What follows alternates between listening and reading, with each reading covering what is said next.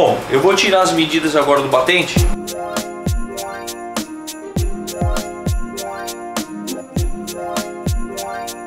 Tá, e essa medida, ela tem que ter uma sangria. Então eu vou fazer aqui, ó. Eu vou pegar em cima do batente aqui, ó.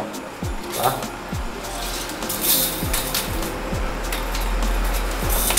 Bom, meu batente está dando 2,16. Eu vou colocar 2,20, tá bom? E vou fazer a mesma coisa na largura dele. Eu vou medir aqui, ó, fazer o contorno do batente. Tá dando 24, eu vou colocar com 30, ok? Então eu vou cortar para a gente começar a fazer a aplicação. Bom pessoal, já cortei o material, tá? Os dois lados de cada batente e a parte de cima. É, eu vou começar a fazer a aplicação no batente e a parte de cima. É porque quando eu fizer esse acabamento aqui, esse corte, e eu for fazer essa parte da lateral, a sobreposição vai ficar para cima, evitando de ficar um risco cortado na madeira, tá? Quando eu fizer esse casamento, ele vai evitar de a gente ver que tem uma sobreposição saliente aqui, ok?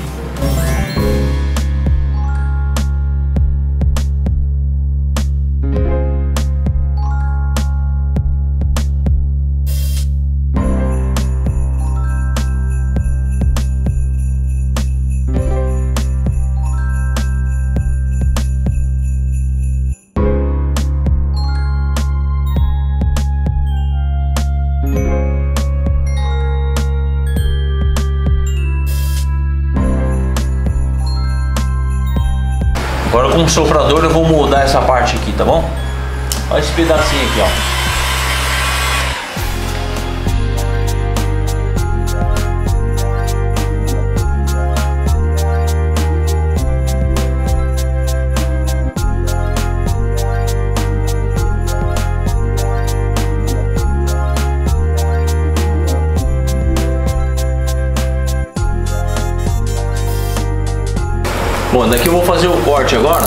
Tá? Então, de, de ponta a ponta, eu vou cortar um pouco na parte de baixo aqui, ó.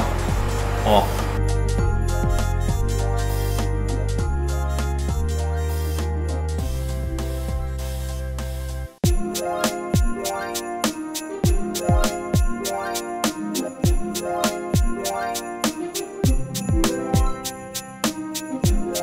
Mesma coisa, fazer do lado de cá.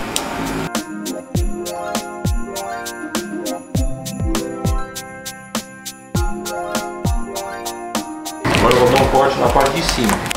Então pessoal, eu coloco a régua aqui para fazer esse corte né, no batente devido às imperfeições da parede. Na hora que eles colocam um batente, é, passa massa fina ou faz alguma reforma, então fica umas crostas aqui. Então eu vou cortar na régua para ficar retinho.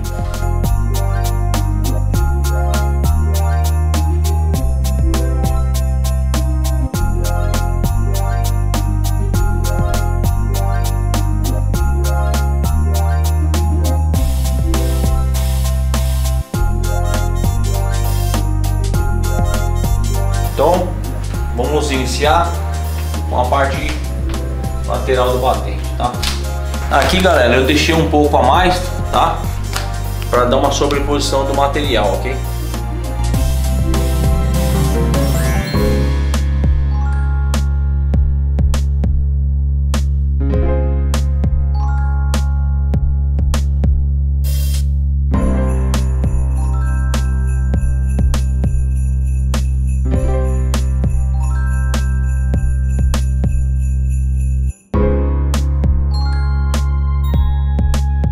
Bom pessoal, aqui é a parte que eu disse, tá? Que ia cortar em ângulo, tá? Então a visão é de baixo para cima, né? Então a gente acaba quase que nem percebendo o corte, ok?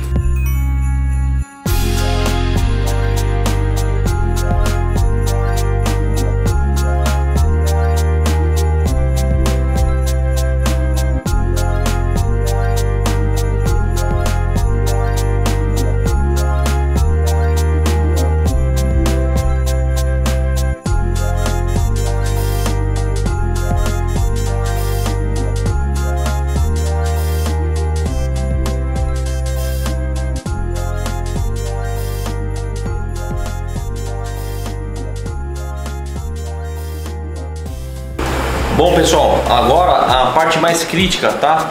É esse batente aqui, por causa das dobradiças, tá?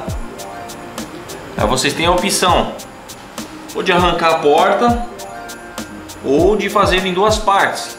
Aí eu começo de lá para cá, faço um recorte aqui, depois eu venho e faço essa outra peça para não mexer na porta, tá? Bom, cortei o material, dividi no meio, vou começar a fazer essa parte do batente e vou dando esses cortes aqui, ó, de alívio e jogar o material para outro lado. Lá eu faço a parte do acabamento. Depois eu aplico lá e coloco a sobreposição em cima desse aqui, ok?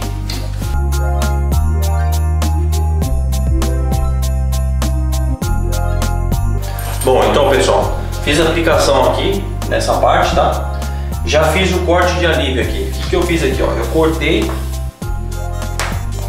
tá? Porque essa parte e essa, ela vai passar por trás por causa da dobradiça. Então agora o que, que eu tenho que fazer? Eu vou abrir a porta para eu ter espaço e jogar o material lá para trás, tá? Já passei o material, tá? Ó. E agora eu vou fazer essa parte aqui e cortar rente aqui. O outro vem e eu dou um corte aqui, ok?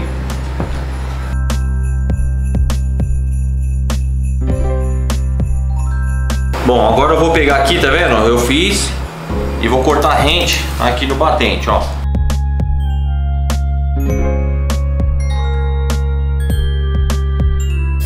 Tá? Eu fiz isso daqui, ó, porque o próximo agora que vem aqui, ó, a gente corta aqui dentro. Ok?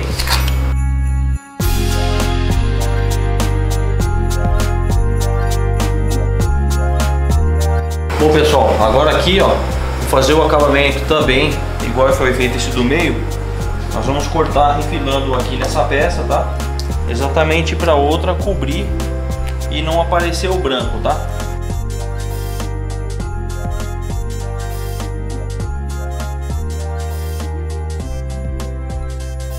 Agora, como eu havia dito, é em relação a deixar a porta no local para fazer a aplicação ou remover. Então tá, deixando a porta no local, nós temos que fazer esse recorte aqui. Então fica um buraco aqui, porque é justamente o buraco da maçaneta. Então o que, que eu vou fazer aqui, ó? Eu venho com um pedaço aqui, ó, e vou completar só o que está faltando, que foi exatamente o que eu peguei na parte de trás lá.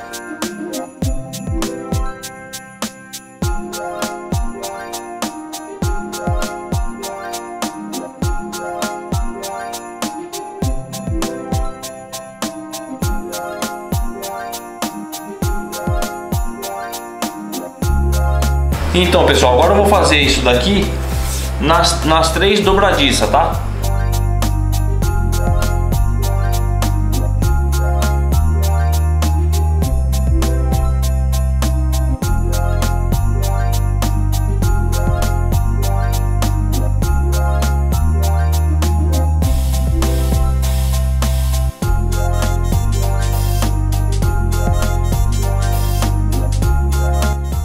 Pessoal, é isso. Finalizamos a nossa porta, tá? Revestimos ela com o nosso madeira MD1804 e com um custo-benefício bem mais em conta, tá? Conseguimos deixar nossa porta nova novamente, com os acabamentos perfeitos, ok? Até uma próxima!